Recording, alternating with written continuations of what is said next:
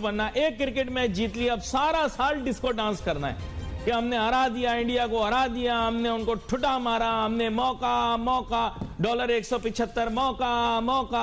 अब नाचते रहो। ओ भाई, इधर गरीब आदमी का पेट खाली है, वो क्रिकेट पे खाक डांस करेगा। नहीं। एग्रेसिवनेस भी थी, जिस तरीके से यू नो स्ट्राइक रोटेशन थी, जिस तरीके पे उनके उनके चेहरे पे नज़र आ रहा था दैट वाज अमेजिंग और सबसे अच्छी बात जो रिजवान ने की कि फिर उसने, माशाल्लाह, उसने ग्राउंड में खड़े होकर नमाज़ पढ़ी जो कि हिंदुओं के बीच में खड़े होकर। So that was really something very very special for me तो गाइज़ अगर आपने अभी तक हमारा चैनल सब्सक्राइब नहीं किया है प्लीज़ सब्सक्राइब कर लीजिए और इस हमारी बेल आइकन को भी दबा दीजिए। इस वीडियो को लाइक करिए कमेंट करिए और अपने फ्रेंड के साथ फैमिली के साथ इस वीडियो को शेयर करिए। गाइज़ हम बहुत सारे वीडियोस आपके लिए लाते रहते हैं। पूरे न्यूज़ से रिलेटेड जो भी वायरल मटेरियल होता है जो भी बड़ी बड़ी डिबेट होती है सबका हम आपके लिए प्रॉपर वीडियो लाते रहते हैं। तो आप हमारे चैनल से बने हाँ, पता लगाओ कुछ तो गड़बड़ है। ऐसा कैसे हो सकता है? कि रुपी जो है वो मुस्तकिल फ्री फॉल में आया हुआ है और डॉलर जो है वो जनाब ऊपर की तरफ़ जाता ही जा रहा है, जाता ही जा रहा है। शोबा तहकीक मुझे बता रही है कि इंटर बैंक मार्केट में एक सौ पिछहत्तर रुपए का हो गया डॉलर अब ना समझ में आने वाली बात है ये।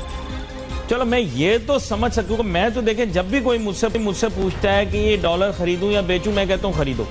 लोग कहते हैं मार्केट में गिर रहा है, तब भी मैं कहता हूँ डॉलर खरीदो। लोग जब मुझसे पूछते हैं ना कि भाई डॉलर खरीदे, मैं कहता हूँ, डॉलर खरीदो भाई। लोग बोलते हैं, नहीं यार, ये तो एक सौ पैंसठ से एक सौ बावन का हो गया। मैं कहता हूँ, तब भी खरीदो। क्यों? क्योंकि मुझे पता है कि एक सौ बावन से फिर एक सौ पचहत्तर पे जाएगा ज़रूर ये डॉलर। और फिर इससे भी ऊपर हो सकता है, चला जाए। मेरी एक फ़ैन थी, वो अब कनाडा शिफ्ट हो गई। कनाडा जाने से पहले मुझे पूछने लगी, अली भाई, बताइए कि मैं डॉलर खरीदूं या बेचूं? मैंने कहा खरीदो। कह रही, नहीं, लेकिन इसाकदार साहब तो डॉलर की कदर को कंट्रोल कर रहे हैं। ये शायद सौ से नीचे भी ले जाएँगे। मैंने कहा, तब भी खरीदो। तब शायद 105 106 रुपए रेट था। मैंने कहा, खरीदो खरीदो खरीदो, फ़ायदा होगा।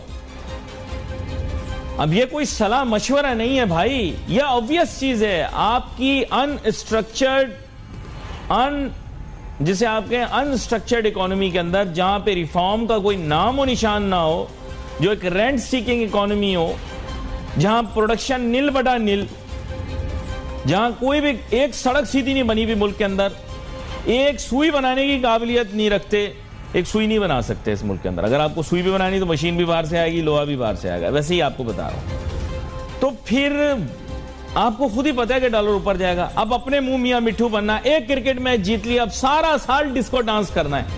कि हमने हरा दिया इंडिया को हरा दिया हमने उनको ठुटा मारा हमने मौका मौका डॉलर एक मौका मौका।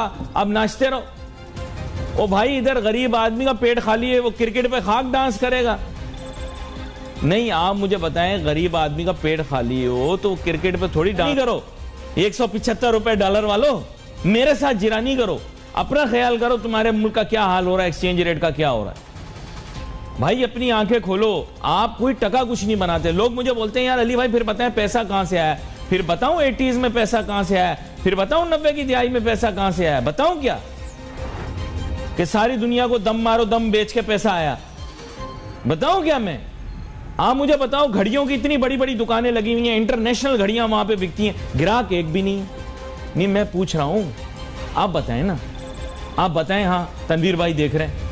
आप बताएँ मैं मार्केट में जाता हूँ, चलो जो अपना ज्वेलर की शॉप वाला होता है, वो तो मुझे कहते हैं ज्वेलर की शॉप वाला के साथ मैं तो सोना लेके बैठा हूँ, नहीं भी आता, ग्राहक तो मैं सोना पिघाल के बेच दूँगा। आप मुझे बताओ, ये महँगी महँगी घड़ियों के ब्रांड वाले, दुकानें इनकी खाली, खरीदार कोई भी नहीं, कैसे चल रही है? नहीं, मैं आपसे पूछ रहा हूँ ना, कैसे चल रही हैं? आप जाके देख लो मार्केट में। 90 परसेंट प्रीमियम प्रोडक्ट की शोरूम के अंदर आपको एक भी ग्राहक नहीं मिलेगा, वो कैसे चलने पीछे स्टोरी क्या है? महँगे महँगे परफ्यूमों की दुकानें। और पाकिस्तान में हर बंदे के अंदर से पसीने की बदबू आ रही है। तो बात ये ये परफ्यूम वाले किसको परफ्यूम बेच रहे हैं? सवालिया निशान क्वेश्चन मार्क नहीं, अगर मेरे सवाल का जवाब हो तो मुझे बता दो। मैं तो जाता हूँ, कभी मुझे ग्राहक नहीं मिलते वहाँ पे। ना परफ्यूम की दुकान पे ग्राहक मिलते हैं, ना मुझे घड़ी, जो एक्सपेंसिव घड़ियाँ होती हैं, जो रिस्ट वॉच जिसे कहते हैं, मुझे उनकी दुकानें खाली मिलती हैं। स्टोरी क्या है, मामू? दया, पता लगाओ, क्या गड़बड़ क्यों है? मैं शारा फैसल पूरा घूमता हूँ। कितने ही मकान खाली पड़े हुए कोई मकीन ही नहीं है घर का। नहीं तो यार अपना डेढ़ छटांग का घर नहीं छोड़ते, हैं? जो बीस गज का कोई प्लाट हो तो वो नहीं छोड़ते। तो ये इतने बड़े बड़े मकान छोड़ के खाली लोग कहाँ गए हुए हैं? कहाँ गए हुए हैं? क्या देख रहे टीवी की तरफ़? बताओ क्या जवाब है मेरे सवाल का? क्यों खाली है इतने मकान शारा फैसल के ऊपर? क्यों कोई उनका मकीन नहीं है? क्यों शहर के सारे वीआईपी एरियाओं के अंदर लोगों ने घर बना के रख के छोड़ दिए क्यों? नो आंसर बता थे उनका नाम था आगा हसन आबिदी। उन्होंने बेसिकली आप समझें कि एक बैंक को बहुत परवान चढ़ाया था और दूसरा बैंक उन्होंने खुद बनाया था। और तीसरा बैंक उन्होंने बैन अवी सतह का बनाया था जिसका नाम था B C C I bank credit commerce international ये बैंक जाके जैसे भी सिस्कियाँ लेते हुए हाँपता हुआ नब्बे की दिहाई में जाके खत्म हुआ। ये दुनिया का सातवां सबसे बड़ा कमर्शियल बैंक था जिसका हेडक्वार्टर कराची और लंदन में था। कैसा दिया? आप में से बहुत सारे लोगों की तो योम पैदाइश से पहले की बात है। और वो बैंक इसलिए बंद हुआ था क्योंकि दुनिया के ड्रग्स का पैसा, दुनिया की गन रनिंग का पैसा, दुनिया में क्रिमिनल एक्टिविटीज़ का पैसा उस बैंक में था। लोग कहते हैं कि जी, और बैंक भी करते थे, और बैंक भी करते थे, लेकिन बैंकारी का जितना ये निज़ाम है, ये आलम यहूद के पास है, उनको जब कोई छेड़ता है तो फिर वो छेड़ जाते हैं, वो उसको वापस छेड़ते हैं। तो खैर, इसके ऊपर तफसील से बात करेंगे, लेकिन एफ़ में जो हम आज तक फंसे हुए हैं ना, ये वही वो ड्रग्स के पैसे हैं, वही वो गन्स के पैसे हैं, ये वही वो गलत कामों के पैसे हैं, ये वही ह्यूमन स्मगलिंग के पैसे हैं, जो आज तक हमें फंसा के रखा हुआ है जिन्होंने। क्योंकि बहुत सारे लोगों ने फ्लैट लंदन में तो नब्बे की दिहाई मिली मैं ये नहीं कह रहा कि उन्होंने इन पैसों से लिए लेकिन लिए जायदादें लोगों ने नब्बे की दिहाई में भाईजान। अब तो सारे कंगले ही हैं। मेरे साथ अब टेलीफोन लाइन के ज़रिए ज्वाइन कर रहे हैं। जनाब ज़फ़र पराचा साहब, किसी तारुफ के मोहताज नहीं है। इस शोबे से, इस कारोबार से मुंसलिक भी हैं और इनसे अब बरह रास्त पूछते हैं, सर, आप क्या जुल्म ढा रहे हैं? ये क्या 175 की खबर लगी है? बोल रहे हैं साहब कि इंटर बैंक में 175 यानी ओपन मार्केट में तो इससे भी ज़्यादा हो गई होगी। कुछ समझाएँ हमें ये कर क्या रहे हैं ज़फ़र पराजा साहब? सर आपकी आवाज़ नहीं आ रही है। हेलो? ज़फ़र पराजा साहब ये सब कुछ क्या हो रहा है? 175 पे पहुँच गया डॉलर। नहीं आ रही है। आवाज़ दोबारा से हम 175 वाली आवाज़ दोबारा से लगाएँगे। दोबारा मिलाएँ ज़फ़र पराजा साहब से दोबारा से रबता जोड़ें। तो ज़फ़र पराजा साहब से आपसे रबता किया जुड़ गया रबता हमारा आपसे आवाज़ आ रही है? नहीं आ रही। हेलो। आप दोबारा से जोड़ें रबता तब तक तकनीकी कोई छोटा मोटा मसला हो गया दोबारा से आते हैं। तो जनाबे वाला आप डिटेल आपको मैं बता दूँ कि भाईजान पाकिस्तान में मंड के दो नंबर चिटिंग का फ्रॉड का पैसा। ये बता नहीं रहे हैं ये मासूम बन रहे हैं। नहीं नहीं हमारे शाशत हो रही है हमारे हम बच्चे ये पैसा, ये मकान जो खाली पड़े हैं पूरे कराची शहर में, पूरे पाकिस्तान के अंदर, दया, पता लगाओ, ये क्या गड़बड़ है? जिस शहर के अंदर गज गज के पीछे लड़ाइयाँ हो रही हैं, वहाँ हज़ारों गज एकड़ सॉरी हज़ारों गज ज़मीन पर बने मकान क्यों खाली पड़े हैं वीआईपी एरियो के अंदर? दया, पता लगाओ! ये प्रीमियम प्रोडक्ट्स, ये रिस्ट वॉचेस ये परफ्यूम की दुकानें गाह कोई भी नहीं है। धनाधन चल रही हैं। दया, पता लगाओ। कुछ तो गड़बड़ है। इल्ज़ाम किसी पे नहीं लगा रहे। गड़बड़ तो है यार। मैं मानने को तैयार नहीं हूँ कि एक ऐसा कारोबार है जिसमें आप मुनाफा नहीं कमा रहे हो, साला साल आप चल रहे हो। ये तो मैंने दो बताया, और पता नहीं कितने हैं। कालीन का बिज़नेस है। ज़फ़र बराजा साहब आपको मेरी आवाज़ आ रही है। आपसे रबता जोड़ने के लिए बेताब है तो दोस्तों, ये वीडियो यहाँ पर होता है ख़त्म। आपको पता है दोस्तों, पाकिस्तान में जो महँगाई है, वो मतलब पाकिस्तान की सत्तर साल की हिस्ट्री में सबसे ज़्यादा अभी स्थिति ख़राब है। और इस बंदे को देखकर तो लगता है इस बंदे ने मतलब एक हफ़्ते पहले चिकन खाया और अभी तक टॉयलेट नहीं गया इतनी कंडीशन ख़राब है। ये जो पेट में जो माल है वो खाली नहीं करना चाहता। इतना मस्ती खोर बंदा है ये।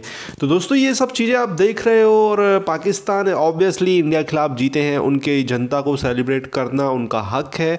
उनको करना चाहिए एक सेंसिबल वे में। मैंने यहाँ पर एक वीडियो भी लगा दिया, वकार यूनिस का। वकार यूनिस आप जानते हैं, पाकिस्तान के छोटे मोटे क्रिकेटर नहीं है। मतलब बहुत बड़े क्रिकेटर हैं और इंडिया में इन्होंने काम भी किया, हैदराबाद के लिए इन्होंने कोचिंग की आईपीएल में कॉमेंट्री की, बहुत काम किया इंडिया में इन्होंने।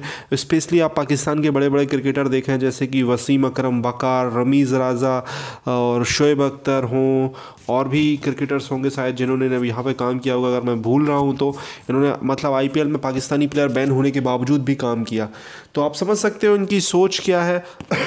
मैंने अभी लास्ट एक बकार यूनिस पर प्रॉपर वीडियो डाला और मैंने अपना कुछ कमेंट भी किया। वो वीडियो थोड़ा सा वायरल हो गया जिसमें पाकिस्तानी जाकर बहुत कमेंट कर रहे हैं कि इसमें गलत क्या है, गलत क्या नहीं है। तो भाई, मैं उनको क्या जवाब दूँ? मुझे पता है कि अब उनकी कोई गलती नहीं है, वो पाकिस्तान में रहकर इस चीज़ को डिफेंड करेंगे। अब वो कह रहे हैं कि हिंदुओं के बीच पढ़ी, नमाज़ तो पढ़ी, क्या गलत है इसमें? आप समझ रहे हो, बकार का जो बोलने का लहजा था, वो देखिए। कहना क्या चाहते हो भाई? तुम कहना क्या चाहते हो? तुम इंडियन के बीच नमाज़ पढ़ दे पढ़ी है तो ये भी बोल देते तो चलो ठीक है, चल जाता। लेकिन स्पेशली तुमने हिंदू वर्ड टारगेट करके तुम क्या कहना चाह रहे हो? अब जो भी है वकार, अब ये टॉपिक बहुत कंट्रोवर्शियल बन चुका है। हर्षा भोगले और बहुत सारे लोगों ने इस पर कमेंट किए हैं। और पाकिस्तान के जो लोग थोड़ा सा मतलब आपको पता है, ऊपर से कुछ और, अंदर से कुछ और, वो वाले लोग ने भी कमेंट किए हैं। कमर चीमा ने इस पर स्पेशली वीडियो बनाया तो वो मतलब अभी वकार को बोल तो रहे हैं, लेकिन अंदर से वो भी वही है। तो गाइज़ अब पाकिस्तान की महँगाई पर क्या बात करूँ? पेट्रोल के प्राइस पाकिस्तान में ज़्यादा है तो इंडिया में भी ज़्यादा है। लेकिन अब उसके पीछे लोग लॉजिक ये देते हैं कि भाई, पेट्रोल के प्राइस हैं तो तुम्हारी भी तो इनकम बढ़ी है, तुम्हारी भी तो ये बढ़ी है, वो बढ़ी है। आपको ये सब नहीं पता चलता। मुझे लगता है दोस्तों आपसे रिक्वेस्ट करूँगा, गाड़ी से फालतू जो आप घूमते हो वो बंद करो, अगर छोटे मोटे काम है, बाज़ार से दूध लाना है, सब्ज़ी लाना है, पनीर लाना है तो नॉर्मली जाके पैदल थोड़ा सा वॉक करके चले जाओ, वो अच्छा रहेगा थोड़ा सा रईसी कम करो। अगर आप मिडिल क्लास फैमिली से हो, यही रिक्वेस्ट है, और इलेक्ट्रिक बाइक आ रही है, ओला की मैंने बुक तो कर दी, अभी तक मिल ही नहीं रही है, वो मिल जाए तो फिर वो भी ठीक है। इलेक्ट्रिसिटी तो एज़ कंपेयर टू पेट्रोल थोड़ी सी सस्ती है लोकल के लिए सही भी रहेगी वो बाइक उसी का वेट कर रहा हूँ। आपके क्या कमेंट है दोस्तों? प्लीज़ कमेंट सेक्शन में ज़रूर बताएँ। चैनल को सब्सक्राइब करें वीडियो को लाइक करें।